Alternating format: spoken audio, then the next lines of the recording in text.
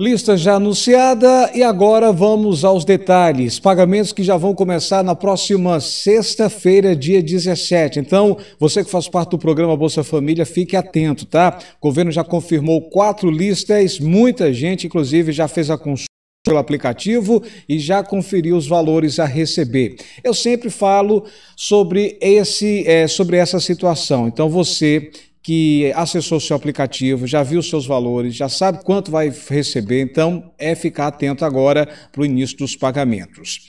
O Zap, para você ter mais detalhes, tanto do Bolsa Família, quanto do BPC, quanto o Seguro Defeso para os pescadores, é esse aí, 61 40 42 15 52. 61 40 42 15 52. Você inicia uma conversa pelo Zap para você ter mais detalhes informações, tá? Primeiro vamos esse print. Essa, essa nossa escrita mandou esse print aqui. Eu entendo que muita gente também esteja nessa situação. Olha só. Ela fez a conferência pelo aplicativo e apareceu aí 600 reais. Ela vai receber agora é, no dia 28 de novembro. 28 de novembro, 600 reais. O que é que chama atenção? É que no mês passado ela tinha recebido o seu valor normal, também de 600 reais. Ou seja, uma inscrita que tem filhos, mas os filhos que ela tem já são de maior, né? já tem mais de 18 anos, nesse caso ela não tem direito a outro benefício, fica só aí nos 600 reais, ok? Nos 600 reais. Outra situação, outra inscrita mandou para a gente essa informação, fez o print e disse o seguinte, Alex, dá uma olhadinha aí no meu print, eu fui conferir, e apareceu isso para mim, ó, apenas 300 reais. No mês passado, eu tinha recebido o valor normal, 600, como você está vendo aí. Outubro, o programa Bolsa Família recebeu 600. Só que agora, ela entrou na regra de proteção. E sabe qual é o problema? É que ela não teve aumento na renda. Ela me falou o seguinte, Alex, eu não consegui emprego, é, eu tenho um filho, mas ele já é de maior, mas ele não trabalha, ele faz bicos, e aí baixou o meu valor pela metade. E agora, o que, é que eu devo fazer? Olha só, eu não sei os dados que o governo pegou para poder avaliar a situação dessa escrita. Mesmo assim, o próprio ministro, né, o Ayrton Dias, disse: olha, se você não concorda porque você passou a receber a metade, entrou na regra de proteção, volte no CRAS, realize uma nova atualização e depois aguarde. Se você conhece alguém que está nessa situação, que entrou na regra de proteção e não concorda, deve fazer isso. Vá no CRAS, atualize e aí acompanhar. Se necessário for, entre em contato pelo zap, o Disque 121. Disque 121 é aquele número que eu coloquei aqui logo no início, ok? Esse aqui já é outro escrito, né? Já é outro escrita. Esse aqui é o seguinte, Alex. É, eu recebi agora no mês de. É, fui fazer minha consulta e apareceu os meus 600 reais. Vou receber dia 28. O que é que chama atenção? É que ela estava bloqueada, gente. Essa e mais outras escritas, né, centenas de milhares de escritas, estavam bloqueadas. Nesse caso, essa escrita recebeu pela última vez no mês de abril. Ó. Ela recebeu no mês de abril o seu Bolsa Família, que foi os 400 reais, mais o adicional de 200 reais. Ela recebeu em abril, ok? Só que agora ela ficou bloqueada em maio ficou bloqueada em maio, em junho, em julho, agosto, setembro e outubro, seis meses. Ela me perguntou o seguinte, Alex, por que, que eu fui desbloqueada? Estou feliz, mas eu quero saber, e o meu retroativo, eu tenho direito? Infelizmente não. O governo tem uma regra aí que se você passar mais de seis meses sem receber o Bolsa Família e voltar a receber, recebe apenas o mês que foi liberado. Nesse caso, ela ficou sem receber maio, olha só, ela recebeu no mês de abril, foi a última parcela. Aí foi bloqueada em maio, junho, julho, agosto, setembro, outubro, seis meses. Voltou a receber agora 600 reais, tá? Infelizmente, a regra do Bolsa Família no governo Lula, infelizmente, adotou esse sistema. Passou seis meses, não tem direito a receber retroativo, tá? Certo, pessoal? Então, essa é a questão, ok?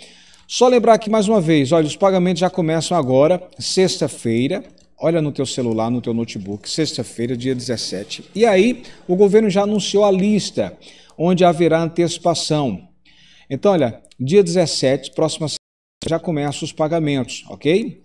Ô Alex, como é que eu posso saber se eu vou receber de forma antecipada? Porque o meu NIS é 3. Alex, meu NIS é 5. Eu posso receber de forma antecipada? Como é que eu posso saber? Gente, pode saber sim. Antes da gente trazer essa informação aqui, o governo já anunciou quais são os municípios que terão os, os pagamentos antecipados. Então, essa é a lista. Eu quero que você olhe no seu celular, no teu notebook, tá?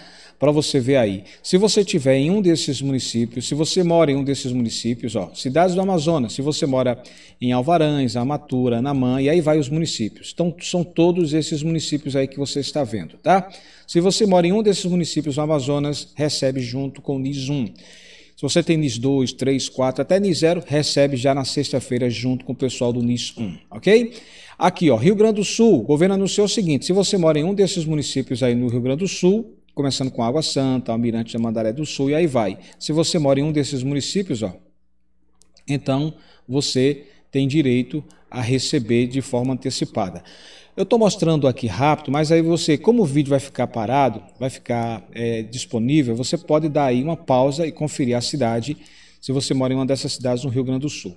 A mesma coisa com Santa Catarina. O governo já anunciou as cidades também que terão os pagamentos antecipados agora nesse mês de novembro. Então, se você faz parte do Bolsa Família, mora em um desses municípios, começando com Abidão Batista, Agrolândia, aí vai. Todos esses municípios aí no, em Santa Catarina, tá? Então você tem direito é a receber de forma antecipada, ok?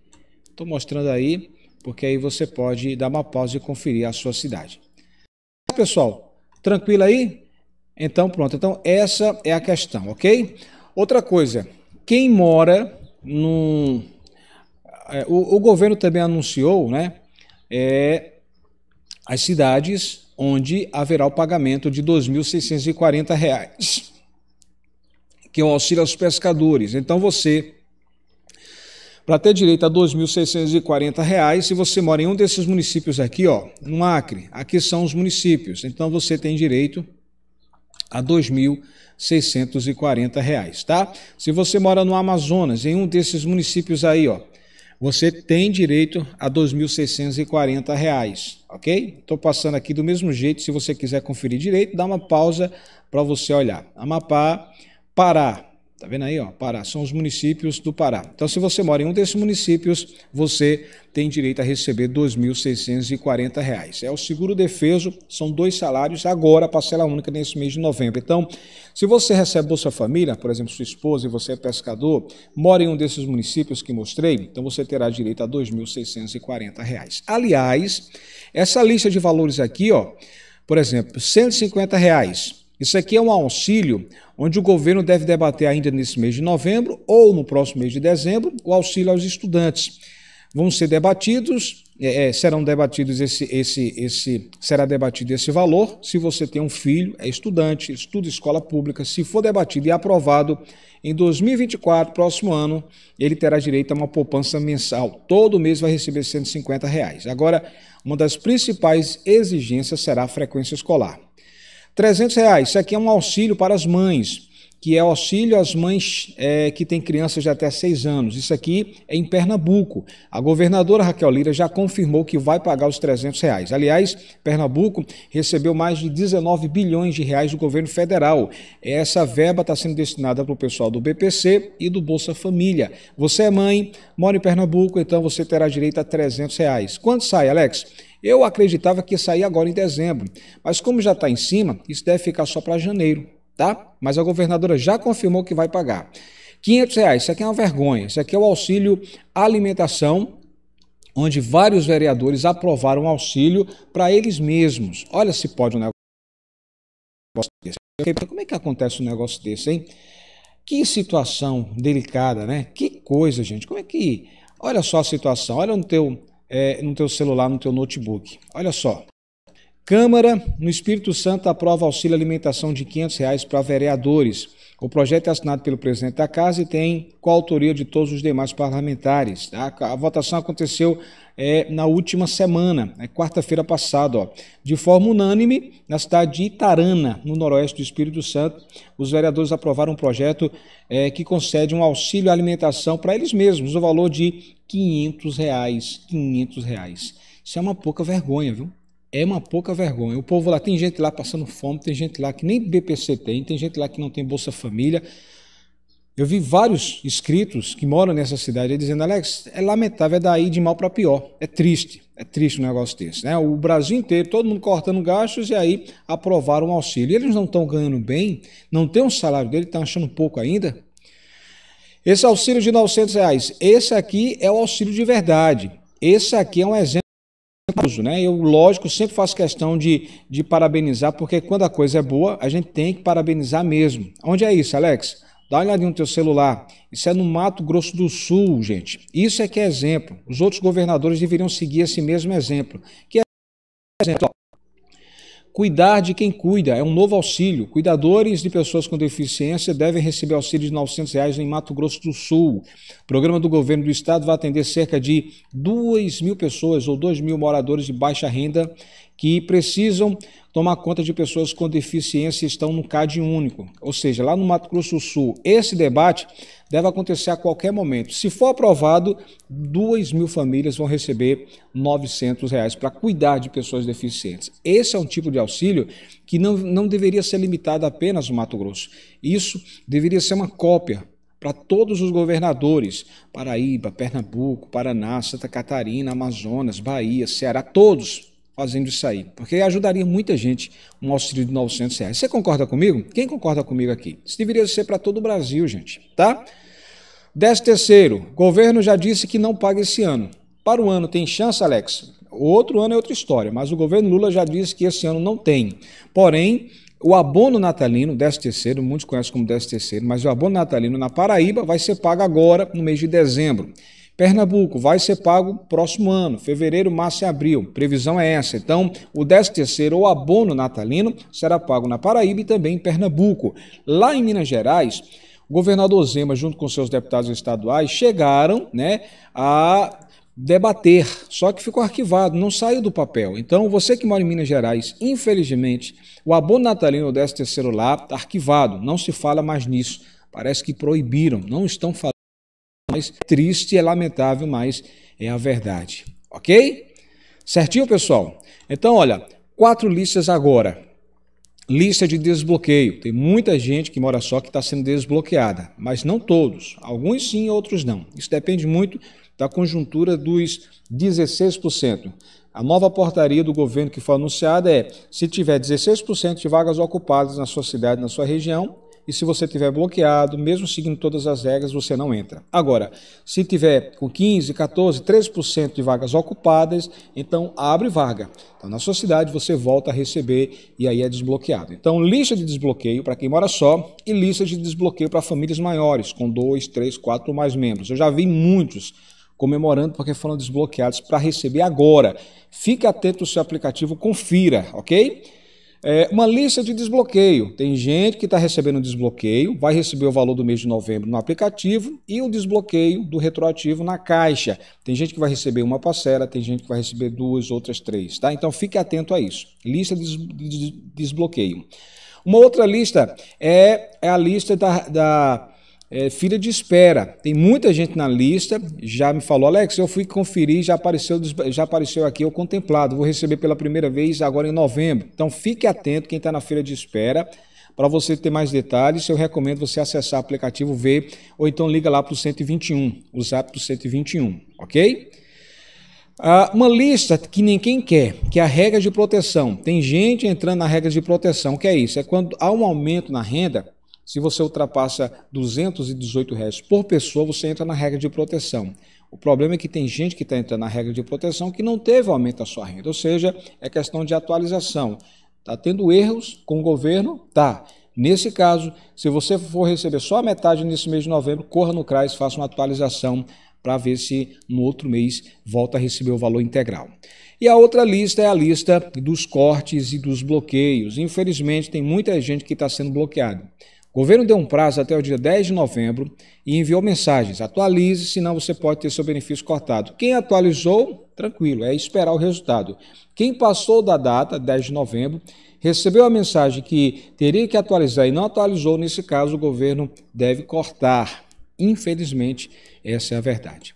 Tá certo, pessoal? Então, aí, palavra de hoje, livro de Salmo, capítulo 128. Olha no teu celular Olha no teu notebook. Salmo 128, verso 1 diz que bem-aventurado aquele que teme ao Senhor e anda nos seus caminhos. Pois comerás o trabalho das tuas mãos, feliz serás e te irá bem. A tua mulher será como a videira frutífera aos lados da tua casa, os teus filhos como plantas de oliveira à roda da tua mesa. Eis que assim será abençoado o homem que teme ao Senhor. Olha que palavra linda. Bem-aventurado aquele que teme ao Senhor e anda nos seus caminhos. Eu pergunto a você: você teme ao Senhor? Você crê no Senhor? Você acredita no Senhor? Acredita, crê que Jesus Cristo é o seu único e exclusivo Salvador? Você já pediu perdão pelos seus pecados? Já conversou com Deus? Já apresenta a sua vida? Já apresenta os seus projetos? Apresenta os seus problemas, suas dificuldades a Deus? Porque é só Ele que resolve. Maldito o homem que confia em outro. Maldito o homem que confia em outro. Então não confie em homens, confie apenas em Deus, somente em Deus. E mais ninguém tá? Seja grato pela sua vida, seja grato pela sua casa, pela casa que você ainda não tem, mas peça a Deus para ter, tá? Para Deus nada é impossível. Lembre-se, para Deus nada é impossível. Deus está no poder. Deus tem o um poder, Deus é onipotente, onipresente onisciente. Deus está no controle de tudo. Simplesmente agradeça a Deus, seja grato a Deus. Diga, Senhor, obrigado, Pai, pela minha vida. Eu sei que eu tenho problemas, estou com dificuldades. Ó oh, Senhor, eu sei pelo que eu venho enfrentando, mas o Senhor é a minha força, é a minha rocha. Abençoa, Pai, minha casa, minha vida, meus filhos. É, te apresento toda a minha família nesse momento, Senhor. Alcança cada um deles, Pai. Cada um possa entrar no teu caminho, na tua presença, entender que só tu és Deus.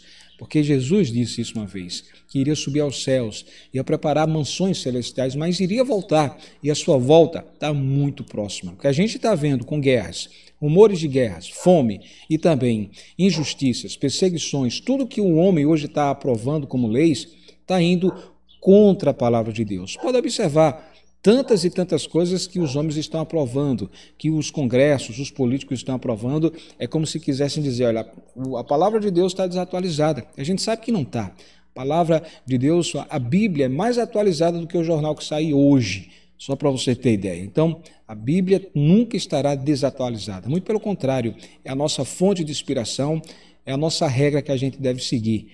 Então, fique atento a isso. O Senhor não quer perder nenhum dos seus. Deus está falando com você nesse dia.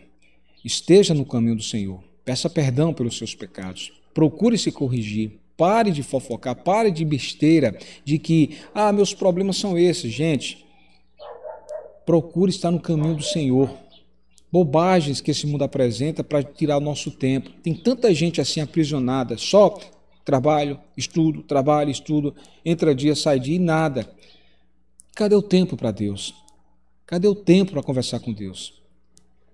Deus dá 24 horas por dia para você fazer o que quiser dele. E você não dá um tempo para Deus? Reflita. Vale a pena correr tanto nesse mundo? No final da história é correr atrás do vento, é correr atrás de nada. Agora, a palavra de Deus diz que é melhor um dia na casa do Senhor do que mil anos fora dela para você refletir. Deus te ama muito e não quer te perder. Aproveite enquanto as portas estão abertas, antes que ela feche. Lembra da história de Noé? Noé estava preparando uma arca, passou 100 anos preparando a arca e pedindo, clamando, apresentando a palavra de Deus, falando: arrependam-se, arrependam-se, esteja na presença do Senhor. E as pessoas faziam o quê? Riam deles, zombavam deles. Até que a arca foi fechada, de fora para dentro, e aí começou o dilúvio. Quando as pessoas notaram que a água estava chovendo, todos correram. Noé, abre a arca, abre a arca, Noé. Mas não podia mais ser aberta. Então hoje, essa arca, a salvação, está aberta. É uma graça para todos. Jesus Cristo pagou um preço muito caro. O seu sangue carmesim que foi derramado naquela crucificação foi muito caro. Ninguém conseguiria pagar esse preço. E ele pagou. Tirou todos os pecados, os meus e os seus, de todo mundo, daquela geração e das próximas gerações com um motivo, para que você tivesse livre acesso ao Pai, de baixo para cima, pedindo sempre em nome de Jesus Cristo. Então, aproveita a oportunidade antes que essa arca, que essa porta se feche. Hoje a porta está aberta, mas vai se fechar. Aproveita a oportunidade. Deus está falando com você. Arrependa-se dos seus pecados. Procure estar na presença dele, no caminho do Senhor. Amém, amados? Deus te ama muito e não quer te perder. Você pode colocar aqui: Eu e minha casa já servimos ao Senhor? Eu e minha casa já servimos ao Senhor. Fica com essa palavra, tá? Fica com essa palavra. Aliás, pega esse vídeo, compartilha aí o máximo possível com seus amigos, contatos, familiares. Se você participa de algum grupo do WhatsApp, manda esse vídeo para esse grupo do WhatsApp. É importante demais para que mais pessoas possam ver essa palavra. Posso contar com você? Aliás, você já deu joinha? Já deu like aqui? Dá essa moral. Você que gosta do nosso trabalho, você que aprecia as nossas informações. Aqui, ó, é para você se inscrever. Tá vendo aqui embaixo? Não inscrever, esse destacado vermelho. Clica nele. Fazendo isso, vai aparecer um sininho. Nesse sininho você clica em todas as notificações. Toda vez que tiver vídeo novo, o próprio YouTube irá avisar você. Ok? Tô no Instagram, gente, lá no blog Alex Silva. Segue a gente, Instagram, blog Alex Silva, também tô na rádio, Rádio Brasil FM, ponto rádio 12345.com. Todo dia programação, ó, linda, tá? Escuta a gente lá. Deus abençoe, pessoal. A gente se encontra em sexta-feira, começa os pagamentos. Fique atento aí, antecipações, os valores a receber bônus, as listas de desbloqueios, de retroativo, qualquer coisinha, entre em contato aí pelo 121 121, você pode ter mais detalhes que o telefone é o 61 40 42 15 52. É o Zap. 61 40 42 15 52, ok? Deus abençoe. A gente se encontra. Tchau, tchau.